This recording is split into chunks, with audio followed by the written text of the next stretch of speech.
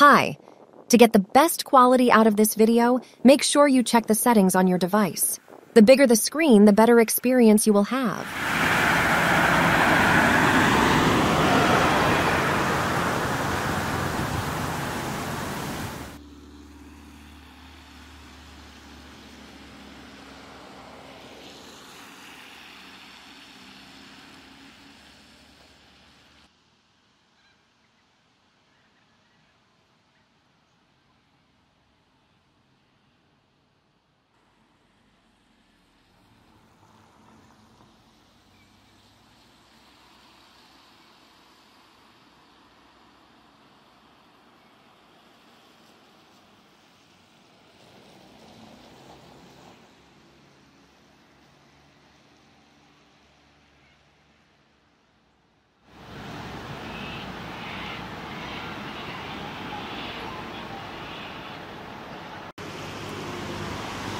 Be sure to drop into the Visitor Information Centre as you can pick up maps and advice from the friendly staff.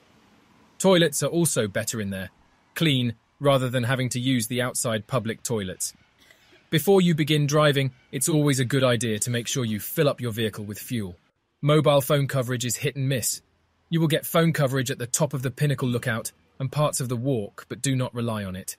Take note of the emergency markers as you walk for reference in case needed by you or if you come across an injured person that needs help, as this will save time for the rescue crew to get there and which direction to come from.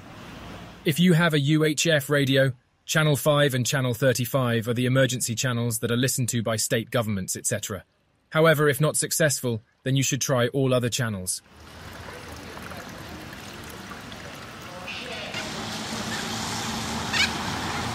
Those mountains above are where the Pinnacle Lookout is and overlooks Hall's Gap, where this township is right here.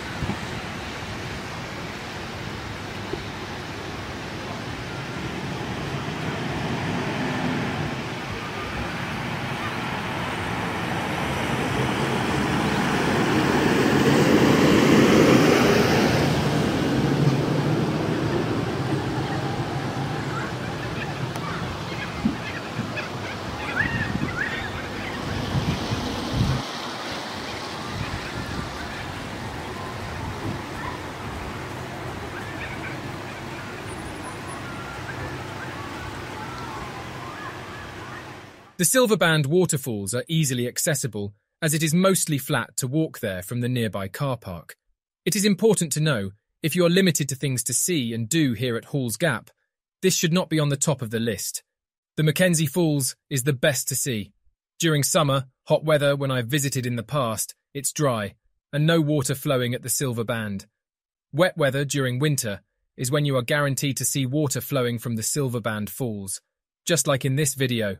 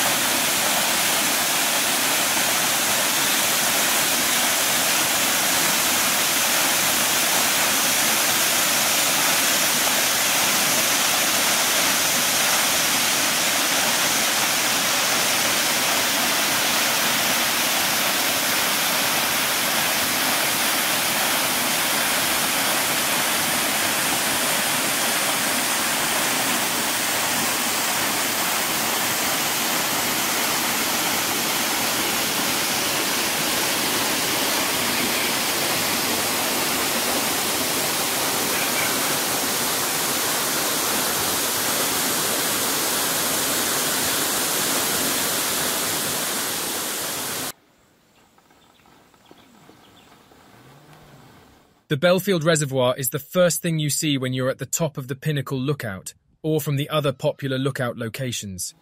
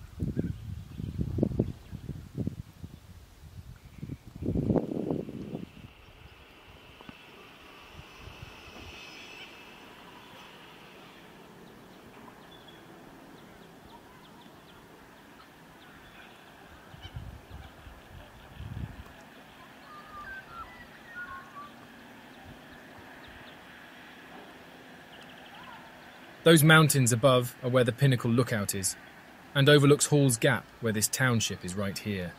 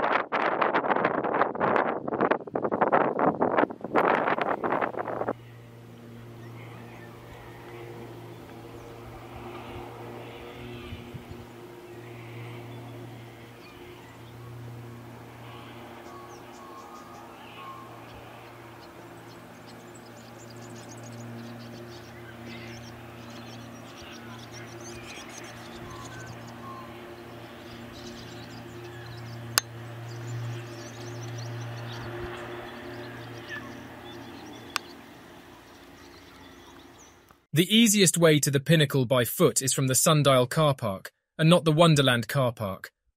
Even though the distance is the same, 2.1 kilometre each way, this way by foot is not as steep. Sundial car park is the easiest and the best route to use if young children are part of your walking group. The walk will take a little over two hours for the return trip, allowing time for a rest at the top. It does include some water crossings and rock hopping, so good sturdy shoes are essential in all weather. However, you do miss out on not going from Wonderland car park is slightly more challenging and ascends via the impressive Grampians version of the Grand Canyon with its unique Australian rock formations. The walk continues through the silent street before rising up to the pinnacle.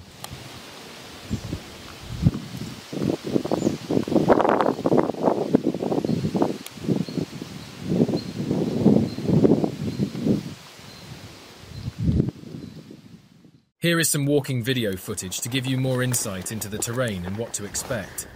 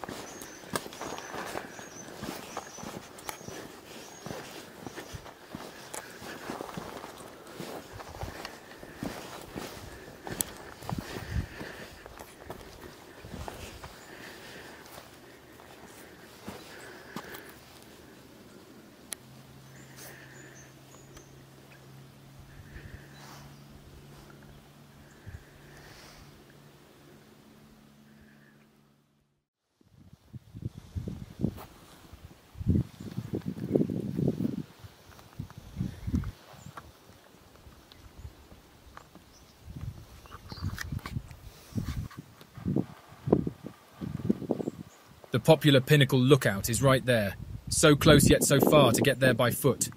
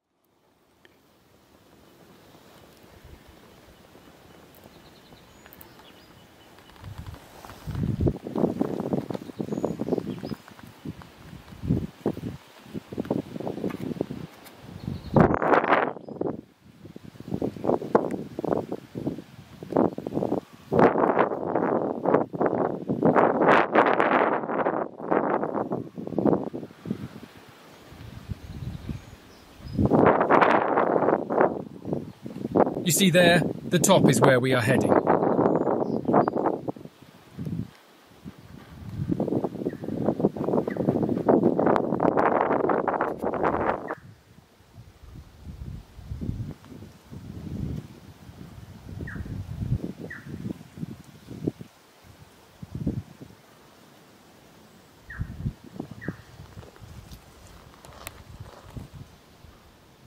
I've not mentioned it until now. You see those yellow triangle markers? These are spaced so that you can see them, line of sight, so you don't lose your way. However, I did it myself as well as other walkers that I spoke to on the way, where I lost concentration and quickly realised I had lost direction. So keep your eyes on those markers. They have been replaced as the old painted markers had gradually weathered away.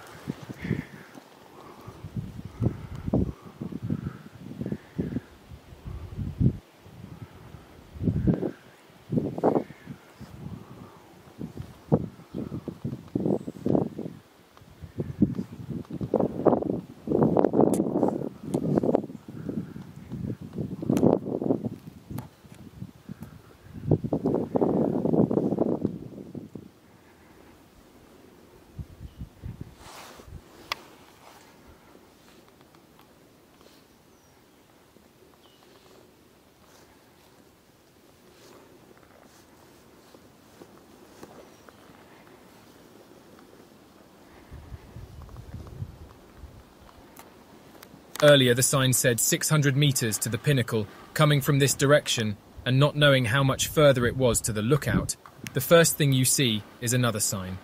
Thinking at first it may be to say how much further there is left to go, it became very clear after a few more steps, seeing the metal railings of the pinnacle lookout came into view, that I made it, and here it was.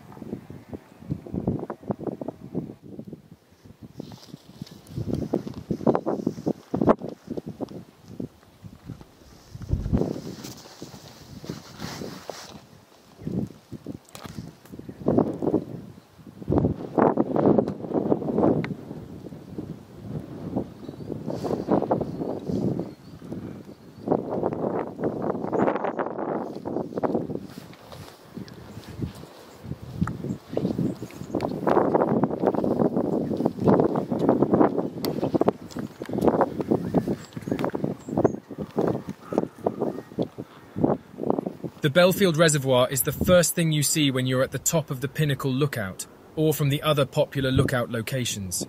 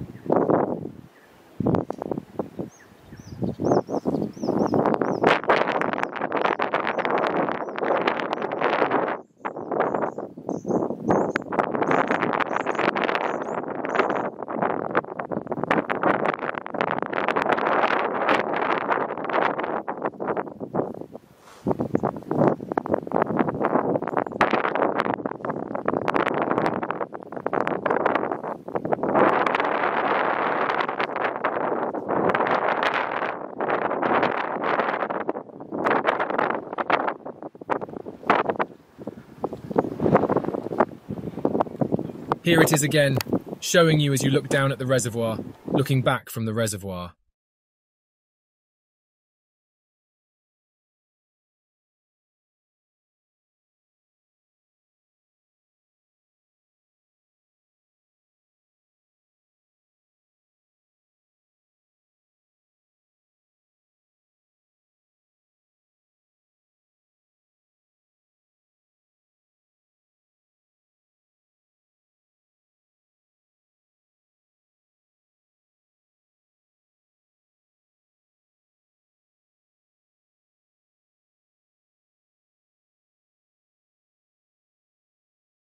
Mackenzie Waterfalls is one of the most popular locations visited and is very busy during the warmer months of the year as many bathers here.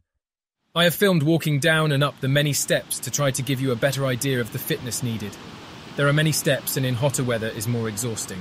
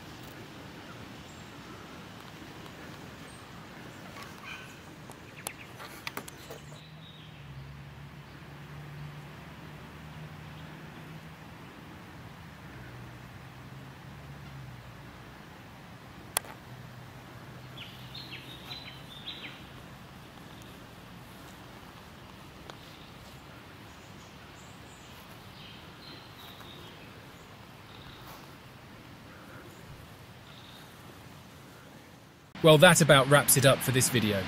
The purpose of this video was to highlight a few main attractions of Halls Gap. This will also assist with making the decisions of when or if you want to visit, such as in warmer or winter months. And if you, your friends, or your family are physically fit enough to be able to enjoy the experience. Video footage was filmed using a Canon D200 Mark II DSLR camera.